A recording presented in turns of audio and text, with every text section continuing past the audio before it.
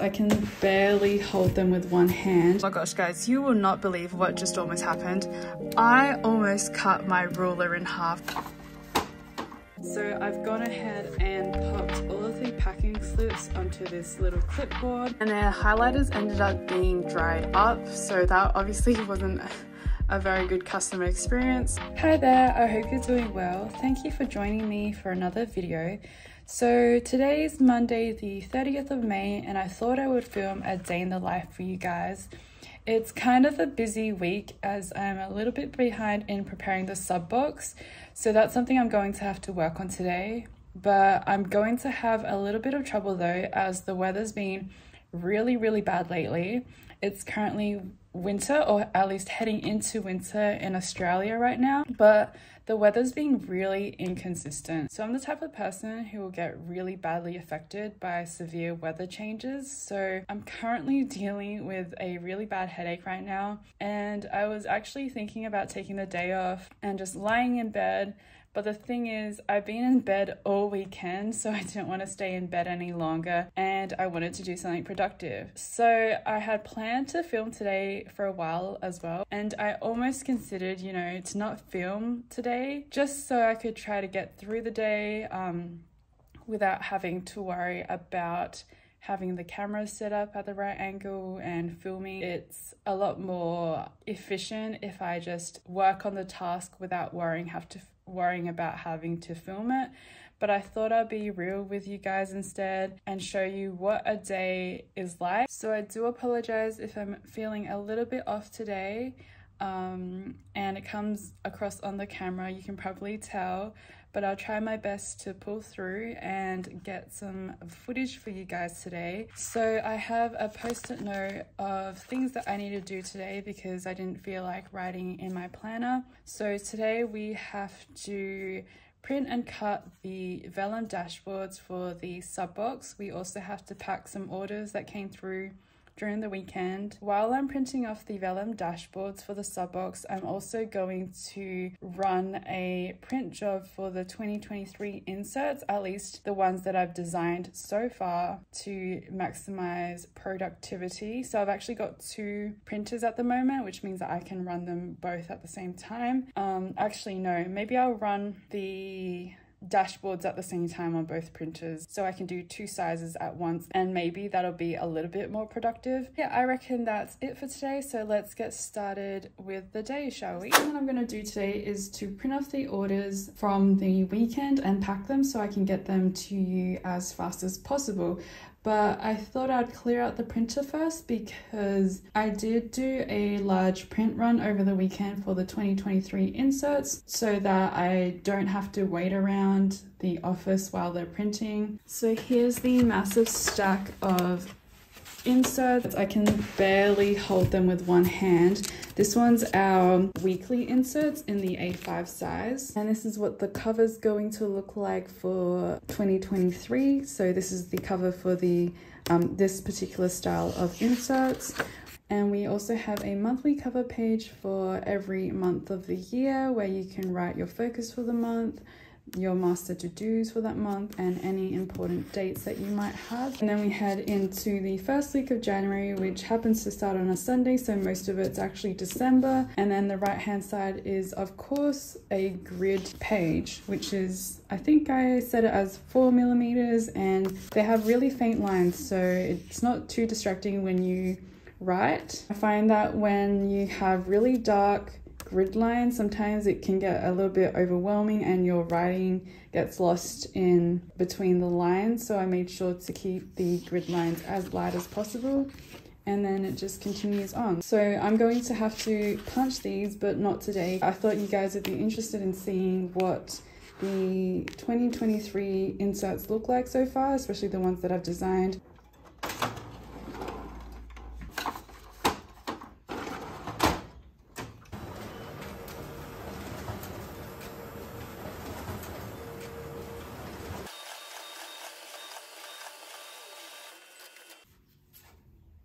Thought I'll show you the pen that I've been using to sign off packing slips lately.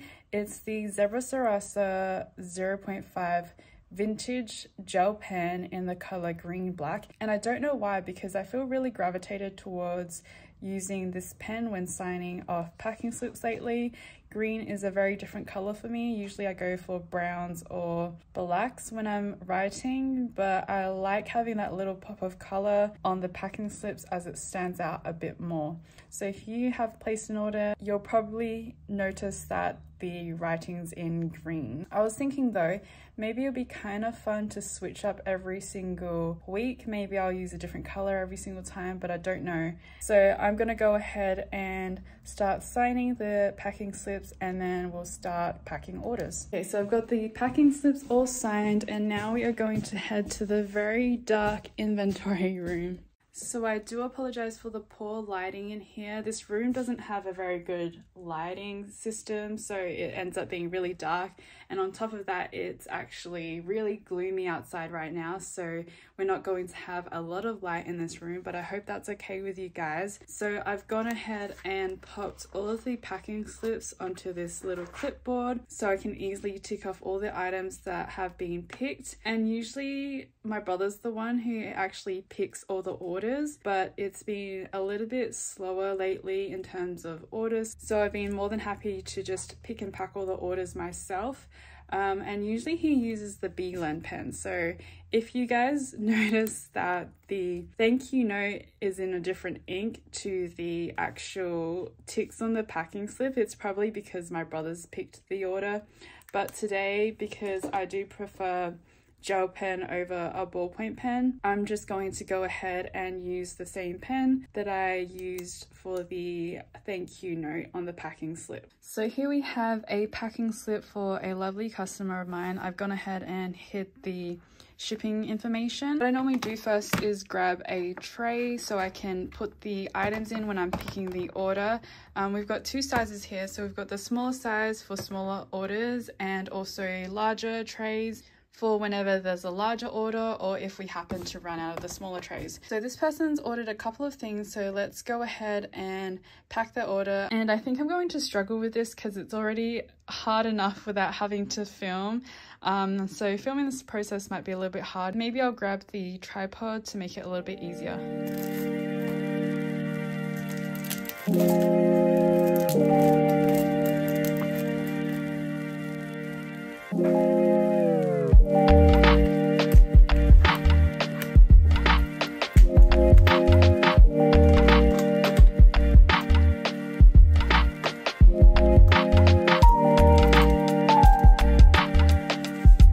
So I've gone ahead and picked all her items.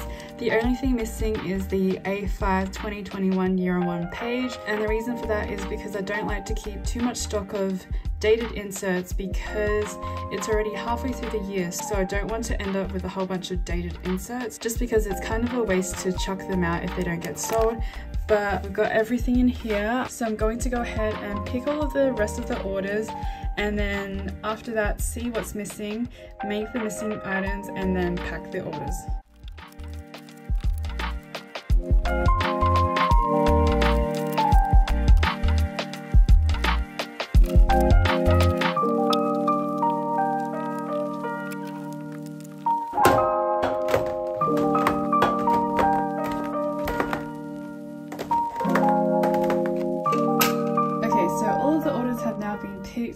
It's time to pack them but we are missing a couple of custom orders as well as items that aren't in stock at the moment. So I'm going to go ahead and print those out cut them out make them and then we'll get into the order packing so I thought I'll take you on a little tour of my packing station while we're here. So usually my friend Shanna comes in and packs the orders but today I'm going to be packing them myself. So I thought it would be nice to show you guys what the packing station looks like while we're here. So usually we put the orders here. I have here some stickers for easy access uh, while we're packing orders. So I just made these on my Dymo, but they're just stickers that say freely to indicate whether an item's free or not. Some please do not bend stickers, as well as some glitch stickers.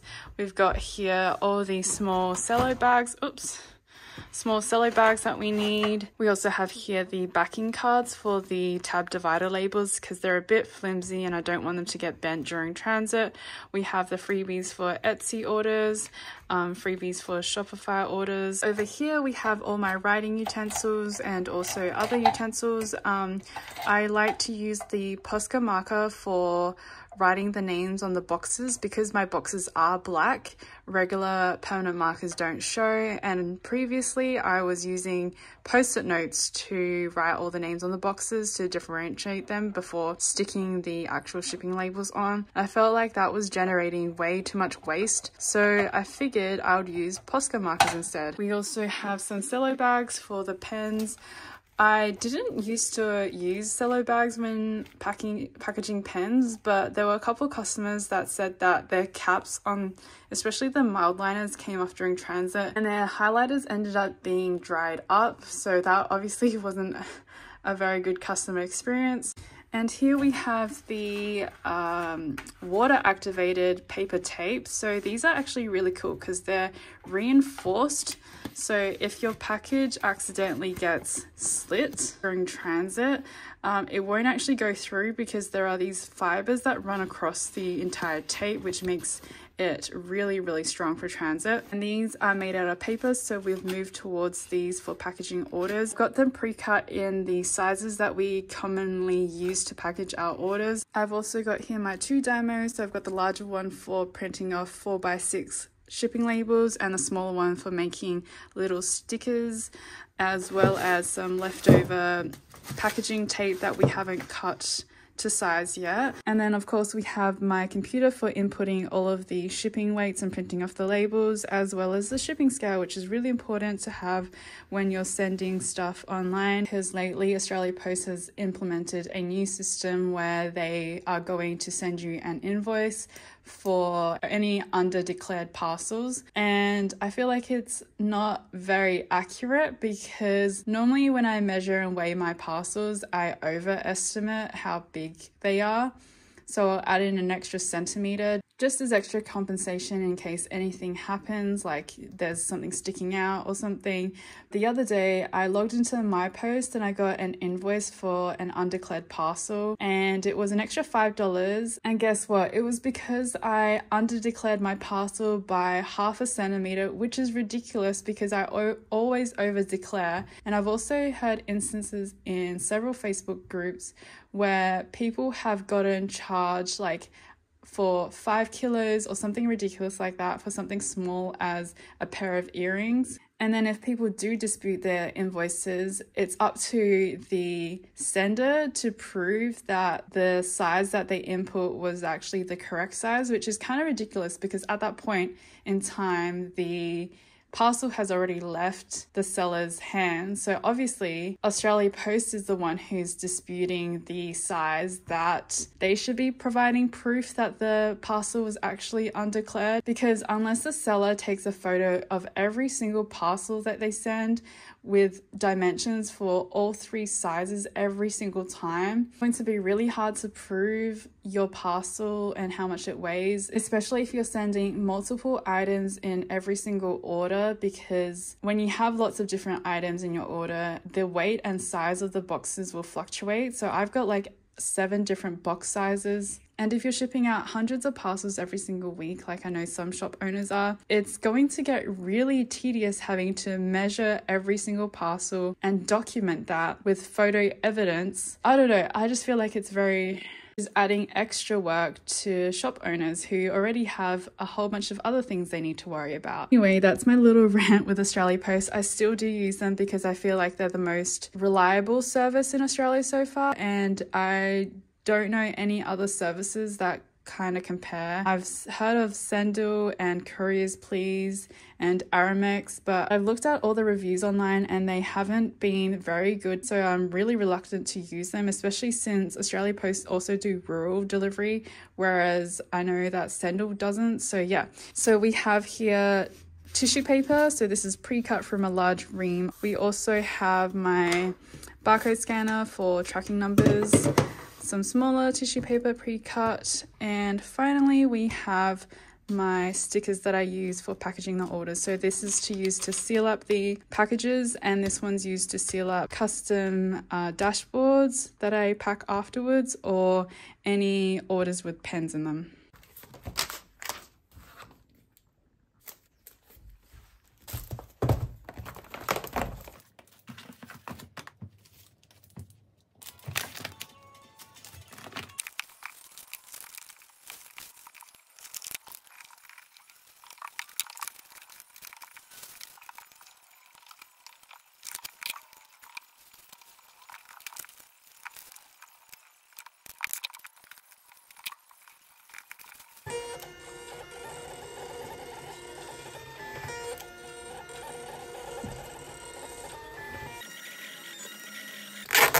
Get started in prepping for the subscription books, I kind of wanted to do a mini Asian snack haul. So we have here strawberry, I don't know what they're called exactly. They're called strawberry candies. Um, these are really, really good. I also got these gummy peach candies and in the lychee flavor as well and strawberry. So you'll see here that a recurring theme is that I like peach and strawberry flavored stuff. I got some mochi, which is in the peach flavor. And also some, I think these are chocolate on the inside. These are strawberry mochi.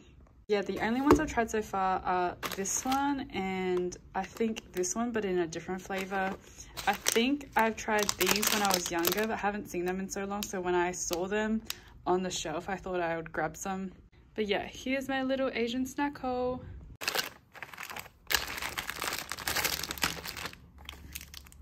Okay, so update on the candy. It was a little bit too hard and I think it's because the weather's so cold so the candy kind of hardened up.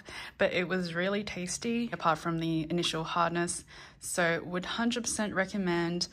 I have all my printed inserts that I just recently took out of the printer. We've also got more over there that need to be punched. Here's the A5 version of the dashboards that I'm going to be printing off first. I'm also sitting on a swivel chair so I can just push myself around and not have to get up to fill up the printer, which is right next to me here. What I've got here is some A5 vellum, which we'll be printing onto today. Since it's a thicker paper, we're going to put it in the side tray so that it goes through the printer easier. So now it's time to print the dashboards, yay!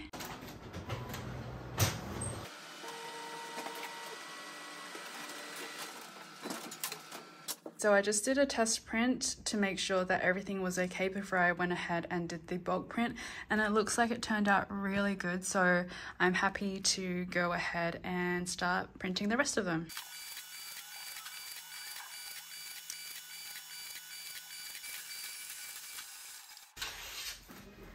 So here are all of the A5 dashboards that have been printed off. I'm gonna go ahead and print off the other sizes now and then um, bulk cut them together. So as you can probably hear, it's currently super loud in the printing room right now because we've got both of the printers running. So I'm gonna go and move into a different room to work in for the meantime. Okay, so I'm just waiting for everything to print out because it's a little bit noisy in there and I didn't bring my noise cancelling headphones with me. So I'm at the packing area now and we have a couple of things that need to be put away. So these were printed and packed last week, but I didn't have time to put them away. So these are the 2023 daily inserts that have been prepped. So I've already mentioned on Instagram, but just in case you don't follow me on Instagram, the financial year dated 2021 July to 2023 June inserts have now been released for the daily inserts so far.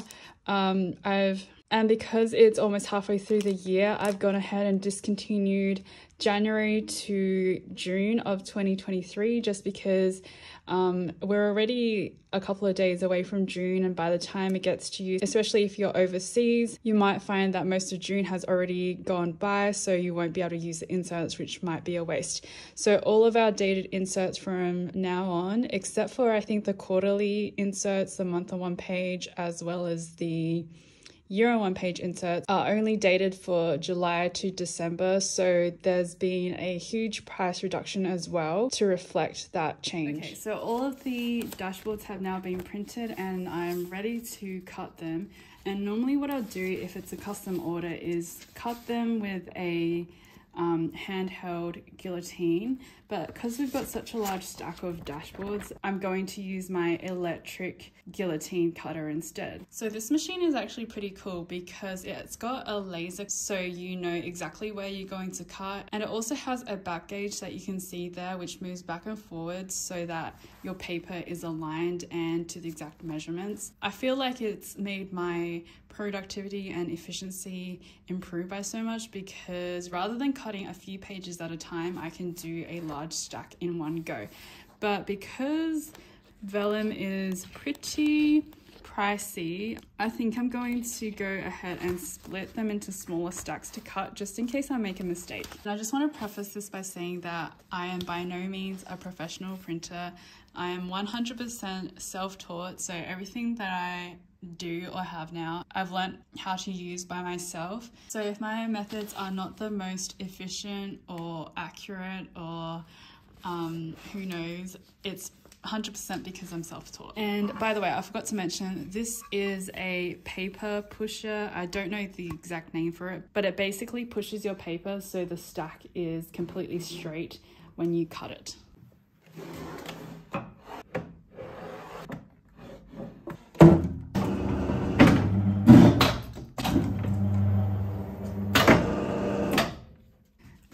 Thing that I don't like about vellum is the bottom page doesn't usually cut very well, so I end up wasting it. But that's okay. We're going to go ahead and fold that. And then move on to the next cut.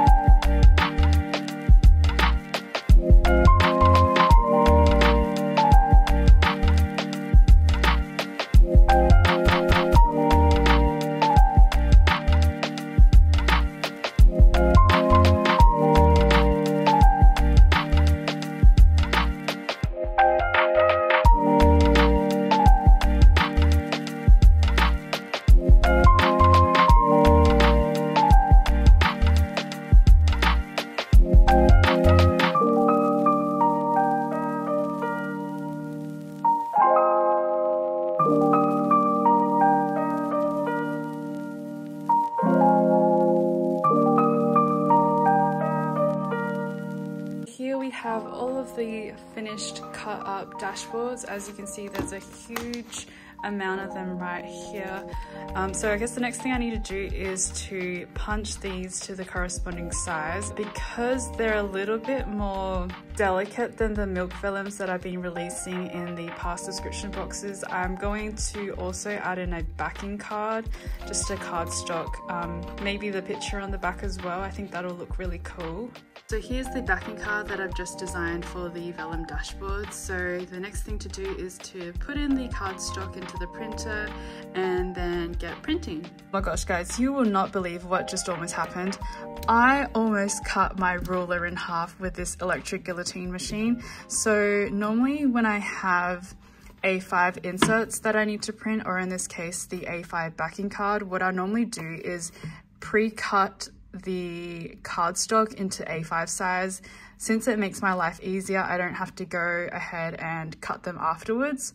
I can just insert the paper, the pre-cut paper directly into the printer and then print directly onto that piece of paper. So it reduces a lot of the cutting that I have to do, um, which saves me a lot of time. So when I was cutting the A4 cardstock in the guillotine, I had accidentally left my ruler on the side there and I had the safety gauge completely closed and started cutting it when I realized, like literally when the blade was right down there that the ruler was still in there. So to activate this machine, what you have to do is hold onto both of these levers here and push them down. And if you don't have both your hands on the bars at the same time, the knife won't activate and cut through the material and it'll just um, go back up as a safety mechanism, of course, in case something happens.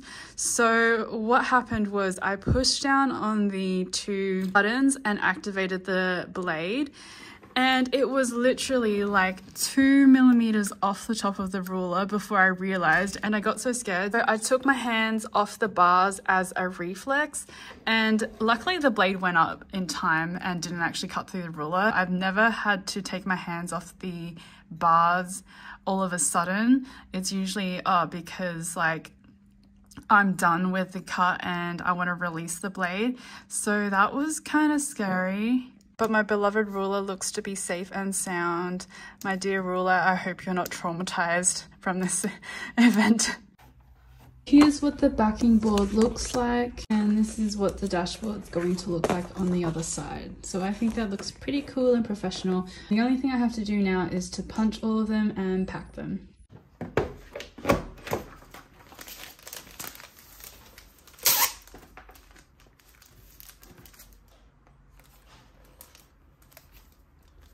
Here's what the final product looks like and I'm super happy with how it turned out. This is one of the sneak peeks that's going to be in the next subscription box. That's all for today. I'm going to save the punching and packing for Wednesday because I'm feeling a little bit off right now. The weather has suddenly changed to a nice bright sunny weather which is insane again because it's done that like five times in the past couple of hours. So I think it's time to head home, get some rest. But thank you so much for joining me in today's video. I really enjoyed having your company while I was working. If you've enjoyed this video, I would love it if you would consider liking this video or subscribing to this channel. And I hope to see you next time. Bye!